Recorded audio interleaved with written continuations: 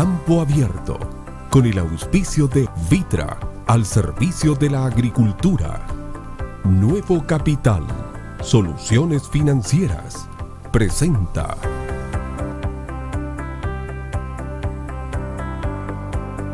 Campo Abierto, Noticias. SNA realizó importante seminario con información clave para distintos sectores del agro. ODEPA y SAC se reunieron junto al Comité Estadístico de la Carne. ICA y Colegio de Ingenieros Agrónomos de Chile anuncian trabajo en equipo en pro de la innovación. Brasil suspendió exportaciones de carne a China tras caso atípico de vaca loca. ¿Qué tal? ¿Cómo les va? Bienvenidos a esta nueva edición de Campo Abierto Noticias. La Sociedad Nacional de Agricultura realizó la decimotercera versión del seminario. Ahora, ¿cómo viene la temporada 2019-2020? Una exitosa versión de este seminario fue la que realizó la Sociedad Nacional de Agricultura el lunes pasado, donde los asistentes tuvieron la oportunidad de recibir información clave sobre cómo se desenvolverán los distintos rubros agrícolas y las oportunidades que tendrán en los próximos meses. El ministro de Agricultura, Antonio Walker, junto al presidente de la Sociedad Nacional de Agricultura, Ricardo Aristía, encabezaron el seminario donde se abordaron las perspectivas macroeconómicas nacionales e internacionales, además de los desafíos y tendencias de los distintos sectores del agro. En la ocasión también participó el subsecretario de Agricultura, Alfonso Vargas, y directores de los servicios del agro, además de alrededor de 400 invitados, entre los que estuvieron parlamentarios, autoridades y representantes de distintos rubros del agro. El presidente de la SNA, Ricardo Aristía, reafirmó la necesidad de la aprobación del TPP-11 por parte de los parlamentarios, señalando que hoy tenemos acuerdos comerciales con 64 economías, las cuales representan el 86% del PIB mundial. En esta apertura, al mundo, cuesta entender la reticencia de muchos parlamentarios respecto de la aprobación de este tratado, así que esperamos que en la discusión del tratado en el Senado prime el compromiso con el crecimiento del país y con su apertura comercial, que es la responsable de nuestro liderazgo regional. Por otra parte, el ministro Walker destacó las buenas perspectivas para el agro local y vamos a escuchar a continuación sus declaraciones. También eh, ver que el 2018 fue un año muy importante para Chile y para su agricultura. La agricultura creció a un 5,8%, exportamos 18 mil millones de dólares, empleamos a 800 mil personas, crecimos nuestras exportaciones un 16% y el desafío de este año es seguir creciendo, seguir conquistando mercado, aprobar el TPP-11, que es un mercado que nos amplía el portfolio de mercados. No podemos depender solo de Estados Unidos y de China. Tenemos que conquistar el sudeste asiático, tenemos que conquistar el norte eh, de África, tenemos que seguir penetrando eh, otros mercados, ¿no es cierto?, muy importantes, tenemos que seguir penetrando eh, China, en fin. Y la mejor promoción de nuestro producto es la calidad, la condición de nuestros productos y la inocuidad.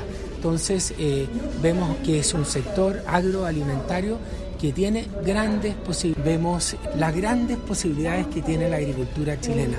Tenemos un mercado realmente grande, ilimitado. Y por eso el llamado hoy día es hacer las cosas bien. Una cosa es la agricultura sostenible. Tenemos que hacer agricultura respetando el medio ambiente, respetando a las personas, haciéndonos cargo de la adaptación al cambio climático eh, de la agricultura. Y en segundo lugar, el llamado a producir alimentos eh, saludables, inocuos, seguros. Chile es un país que hace las cosas bien, que ha hecho las cosas bien y tenemos eh, muchas ventajas comparativas respecto de nuestros competidores, porque más que cantidad, nosotros estamos enfocados a la calidad de nuestros productos. Respecto al anuncio de un nuevo Ministerio de Agricultura y Alimentos realizado por el presidente Sebastián Piñera en su cuenta pública, el ministro Antonio Walker señaló que la idea es concentrar todos los alimentos en un solo ministerio, porque existe el desafío del cambio climático, de la inocuidad en todos los alimentos, Y ese es un desafío común entre todos los alimentos que se exportan. Por eso, el nuevo ministerio tendrá dos subsecretarías, el de Agricultura y el de Pesca y Acuicultura. Vamos con otro tema. Cernatur está proyectando el desarrollo de una estrategia que permita impulsar el marketing turístico para activar el destino Araucanía. En el marco del programa de difusión y desarrollo de este destino Araucanía, presentado por Cernatur y que fue aprobado por el Consejo Regional por más de 800 millones de pesos para el año 2019, se encuentra en una instancia de diseño y ejecución un importante plan de marketing que busca reactivar los indicadores turísticos para esta región, apuntando a mejorar su impronta tanto al mercado nacional como internacional. Ese será uno de los principales desafíos del recientemente nombrado director regional en la Araucanía, César González, quien deberá liderar, entre otros, los principales componentes del programa que dice relación con soportes de información, promoción y difusión para toda esta región y el país, además de levantar campañas y para posicionar a este lugar como destino turístico y que en conjunto representan casi el 90% del presupuesto del programa para este año. La autoridad regional señaló que su objetivo fundamental es posicionar el destino como uno de los más atractivos del sur de Chile, indicando que tiene la convicción de que todo esto más la tecnología son factores fundamentales en el desarrollo de nuestra industria, por lo que se han incorporado como un nuevo pilar en la Estrategia Nacional de Turismo 2012-2020 y se han hecho parte también de las prioridades actuales. Dentro de los puntos que contendrá este plan de acción de marketing implican eh, varias áreas, entre ellas la realización de campañas, de difusión a nivel nacional e internacional con un plan de medios offline y online. Se va a participar en algunas ferias internacionales de gran importancia, no obstante, se está trabajando con más fuerza en traer eh, tour operadores de los mercados prioritarios para que se encanten de la región de la Araucanía viviendo una experiencia turística en los cinco destinos del lugar, en conjunto con el Press Trip, en medios nacionales e internacionales, que visitarán la región durante las diferentes estaciones del año para difundir la actividad turística. Y en el marco de la alianza de trabajo entre ODEPA y el SAC, estos servicios del Ministerio de Agricultura se reunieron con el Comité Estadístico de la Carne con el objetivo de analizar los últimos resultados estadísticos entregados por el sector. Una importante reunión se realizó el viernes entre el Comité Estadístico de la Carne, entre representantes de ODEPA, el SAC y el sector privado, entre los que se encontraba Rafael Lecaros, gerente general de Faenacar, y Francisco Cox, gerente general de ACHIC, además de representantes del Subdepartamento de Sistemas de Información Pecuario del Servicio Agrícola y Ganadero. El objetivo principal de la reunión, tanto en el ámbito técnico como metodológico, fue revisar los avances y contenidos de un boletín estadístico e interactivo, CIPEC, para el sector. El nuevo boletín es el resultado del trabajo desarrollado por el Subdepartamento de Sistemas de Información Pecuaria del SAC y los departamentos de análisis de mercado y políticas sectoriales de ODEPA y los distintos representantes del sector privado y asociaciones. El trabajo propone desafíos a los distintos actores involucrados a fin de promover una estrategia que permita instalar la información registrada en CIPEC Web como información precisa y de utilidad para los distintos rubros productivos del sector del agro. Vamos a cambiar de ámbito. A Proleche Osorno celebró el Día del Productor Lácteo en su asamblea anual. La semana pasada, en los salones del Hotel Sonesta, la Asociación Gremial de Productores Lecheros de Osorno, APROLECHE, realizó junto a un gran marco de productores presentes y autoridades su tradicional asamblea anual. En la ocasión se contó con la presencia del Ceremi de Agricultura de la región de los lagos, Juan Vicente Barrientos, y del presidente de la Federación Nacional de Productores de Leche, Eduardo Schwerter. Por su parte, el presidente de la citada federación apuntó como Fedeleche siempre es bueno estar presente en las distintas regiones y conversar con los productores entregándoles un mensaje de nuestro trabajo como federación. Además, esto nos ayuda a conocer más de cerca el gran trabajo que viene desarrollando a Proleche a través de los años. y es que es muy importante que los productores estén informados y se sientan partícipes tanto de su asociación regional como de la Federación Nacional.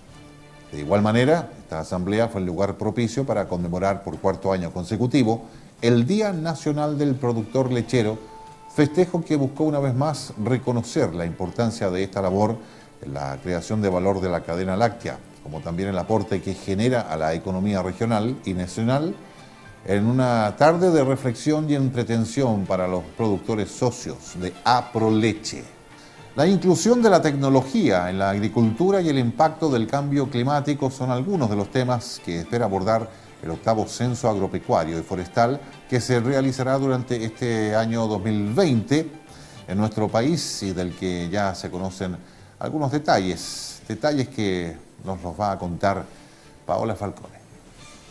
Hola amigos de Campo Abierto Noticias, gusto en saludarlos. Hoy les quiero contar que con el apoyo técnico de la FAO, Chile trabaja el octavo censo agropecuario y forestal a realizarse en el año 2020, proceso que busca incorporar tecnología como tablets e ingreso de información en línea, cuestionarios diferenciados para productores de mayor o menor escala, la participación de sociedad civil y el impacto del cambio climático.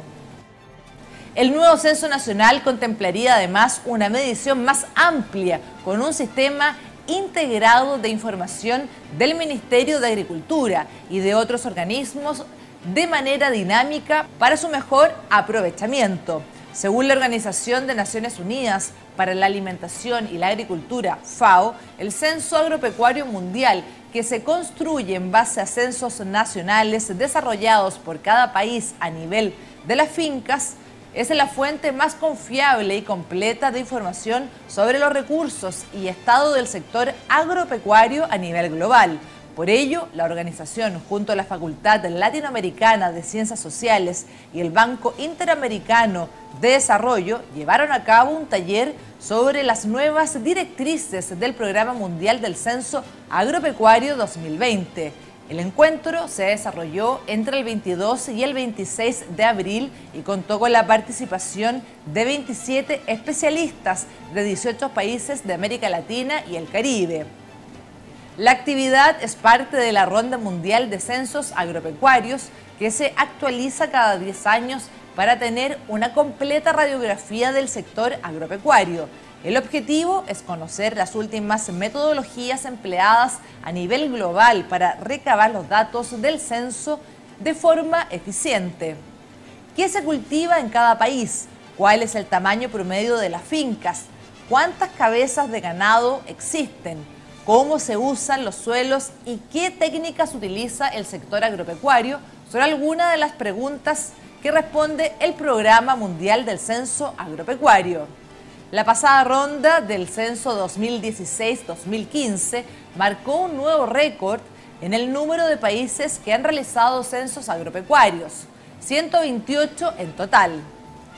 La FAO brindó asistencia técnica a muchos de estos países, especialmente a aquellos con una capacidad estadística más limitada y continuará apoyando a sus miembros en la organización de sus censos agropecuarios de acuerdo con las nuevas directrices, dijo Yves Crowley, representante de la FAO en Chile. No se vaya, nos separamos unos momentos, ya volvemos con más informaciones en Campo Abierto Noticias.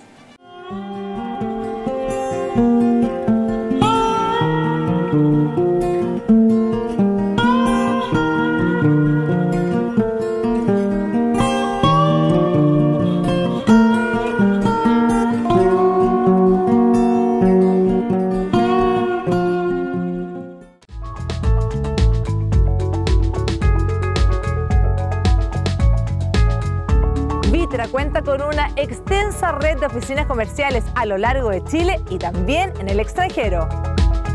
Las líneas de productos Vitra se centran en fertilizantes granulares y solubles, enmiendas, azufre y productos de especialidad en el ámbito de la nutrición vegetal. Más información en agrovitra.com. Vitra al servicio de la agricultura.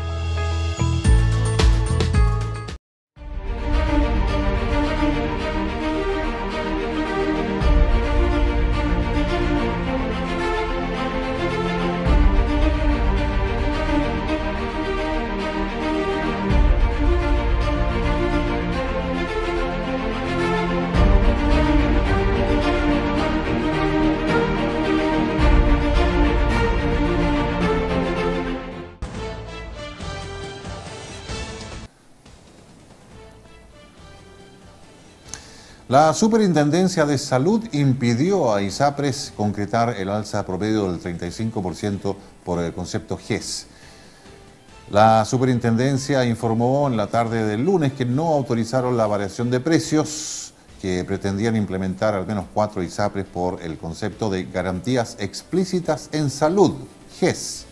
Esto luego que se conociera que las instituciones Médica, Colmena, Vida 13 y Cruz Blanca indicaran al organismo regulador que estudiaban ajustar el alza al cobro de la prima de la GES. La decisión de la superintendencia se adoptó porque de acuerdo al inciso segundo del artículo 23 de la ley 19.966, se entiende prorrogado automáticamente el decreto anterior al no haber un nuevo decreto que a la fecha no se ha publicado en el diario oficial. Por esta razón, las ISAPRES no podrán variar el precio vigente, tampoco informar un nuevo precio a este organismo, atendido lo establecido en el artículo ya mencionado, indicó la entidad. Tras el anuncio en la cuenta pública, el proyecto del metro para Concepción podría concretarse en 10 años. En la Municipalidad de Concepción se reunieron parte de los integrantes de la red Muévete por un metro, luego del anuncio que realizó el presidente Sebastián Piñera en la cuenta pública donde se comprometió al inicio de los estudios para esta iniciativa. La agrupación valoraron el anuncio del mandatario, pero piden claridad en torno a los plazos, tal como lo manifestó el alcalde de Concepción, Álvaro Ortiz.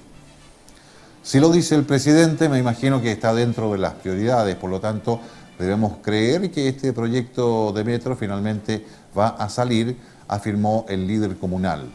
El presidente de la Cámara de la Construcción, Felipe Schlack, indicó que es el momento de aterrizar la iniciativa y ver cómo se va a ejecutar. En ese sentido, el actual estudio de FESUR plantea un trazado que se inicia en la Intendencia del Biobío y termina en la Universidad y será eh, licitado en el segundo semestre de este año o a comienzos del próximo, por lo que en 10 años se podría concretar el proyecto.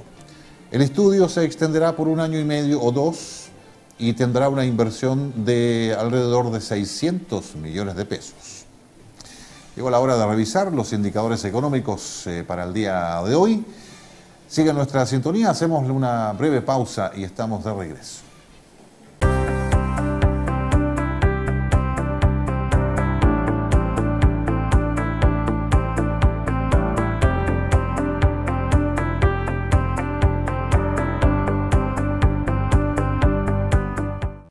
Finanzas son un mundo de posibilidades. Aunque quieras, no todo depende de tu gestión.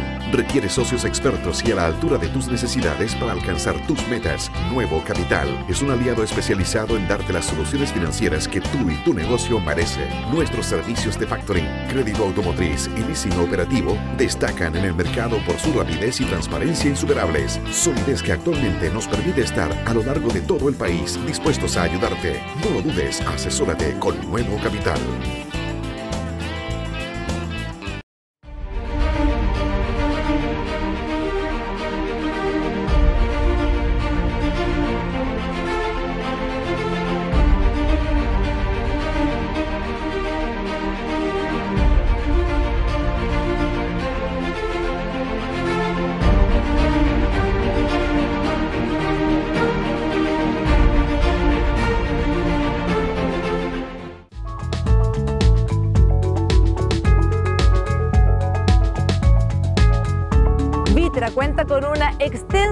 Oficinas comerciales a lo largo de Chile y también en el extranjero.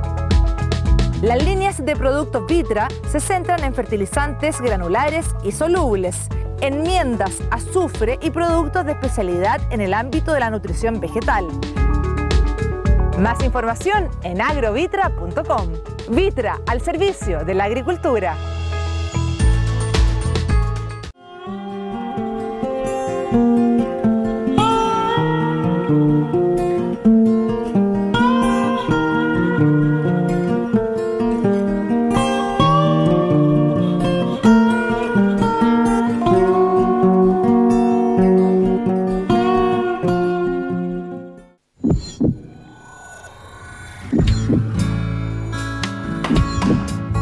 Cuando construyes, reparas, arreglas, cercas o alambras, necesitas productos de calidad y confianza para que tu trabajo quede bien hecho y dure mucho tiempo. Inchalam en el corazón de los chilenos. Productos hechos por chilenos. Y en otras informaciones, Brasil suspendió las exportaciones de carne a China por detectar el denominado síndrome de la vaca loca. La medida preventiva la adoptó el Ministerio de Agricultura brasilero. Una suspensión preventiva de las exportaciones de carne a China es la que realizó el día lunes Brasil después de que se detectara un caso atípico de encefalopatía espongiforme bovina, también conocida como vaca loca, en el estado de Mato Grosso. La decisión la tomó el Ministerio de Agricultura del gobierno de Jair Bolsonaro, que hasta el momento no dio más precisiones sobre el tema. El caso de la vaca loca fue confirmado el viernes y las autoridades informaron que se aplicó el protocolo correspondiente, que el animal fue sacrificado y también incinerado en el propio matadero y que ninguna parte de este animal entró en contacto con la cadena alimenticia por lo que descartaron riesgos para la población. Según las autoridades, el animal contrajo la enfermedad de forma espontánea y no por el consumo de alimentos, de proteínas derivadas de otros rumiantes, que es lo habitual en este tipo de casos, y por lo que la alimentación está prohibida en gran parte del mundo. ICA y el Colegio de Ingenieros Agrónomos de Chile trabajarán juntos en el cambio climático, innovación y competitividad.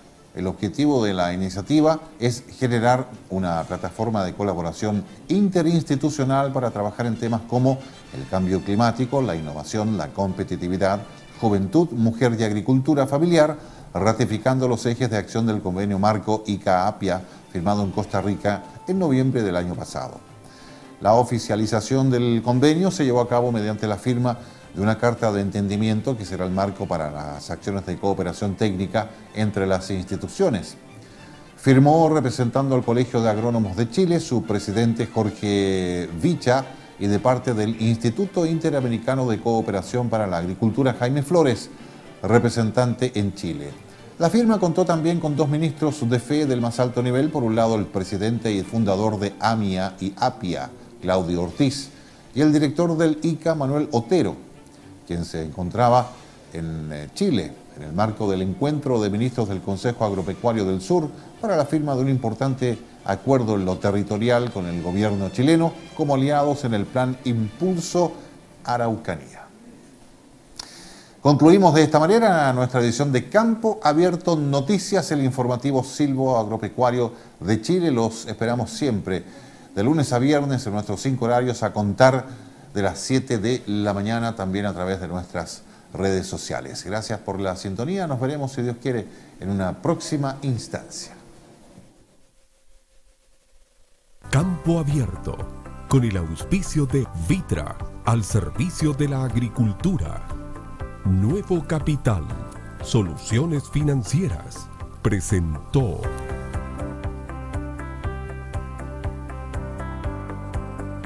Campo Abierto. Noticias.